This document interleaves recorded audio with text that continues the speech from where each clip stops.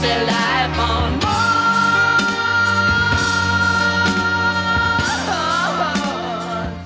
A cherry red Tesla heading toward Mars with a dummy called Starman behind the wheel is without much debate the most bizarre sight in the history of space travel.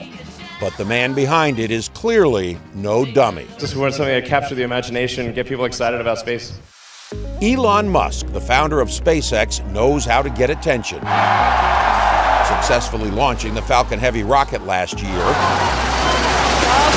landing two boosters back at Cape Canaveral, and flying Starman all on that first test flight got SpaceX plenty of it.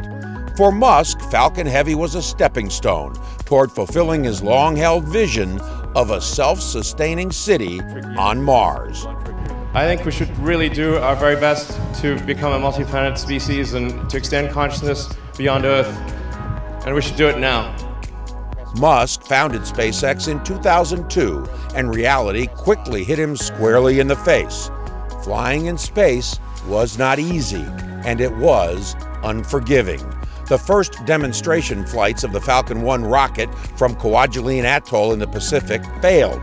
SpaceX was in trouble, pretty much before it got off the ground. It was our fourth launch, and if we if that launch had not succeeded, SpaceX that would have been the end of SpaceX. That was all. I, would run out of money. There would no there were no more investors, um, and and that would have been it. But it wasn't. It was just the beginning.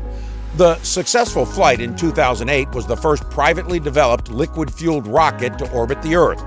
That same year, NASA awarded SpaceX a $1.6 billion contract to fly resupply missions to the International Space Station using his next generation Falcon 9 rocket and the Dragon spacecraft. So you can see behind me various uh, barrel sections for Falcon 9. That's actually serial number two. That completed tank is serial number two of Falcon 9. Serial number one's on the test stand in Texas. And then serial number three is in, in barrel sections on the floor. During the past six years, the company's Falcon 9 has lifted satellites into orbit. Dragon has delivered supplies to the space station. And in a revolutionary technological advancement, landing and reusing the first stage boosters. So obviously, if we can reuse the rocket, um, say, a, a thousand times, then, then that, that would make the capital cost of the rocket per launch only about $50,000. And with another contract from NASA in hand, the company was building Crew Dragon to carry astronauts to the space station. Success has not come without some significant setbacks. A Falcon 9 exploded after liftoff, another blew up on the launch pad, and a Crew Dragon was destroyed during a pad test. The company is now nearly three years behind schedule getting astronauts to the space station. Space is hard, which seems to push Musk harder.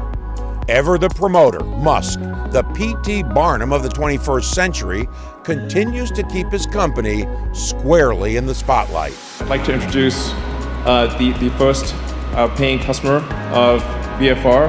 Uh, would Yusaku Maezawa please come forward. Maezawa, a Japanese billionaire, will fly with a group of his friends to the moon on a massive rocket called Starship. How much he paid for the flight, which is years away because Starship hasn't flown yet, is not known. SpaceX, in a relatively short amount of time, has become a household name. So much so that one could argue it is the most recognizable private company brand in aerospace. And clearly, Elon Musk intends to keep it that way. For My Radar, I'm John Zarrella. Follow My Radar on social media Facebook, Twitter, Instagram, and YouTube. Download My Radar on iOS, Android, Amazon Alexa, Xbox, and Windows.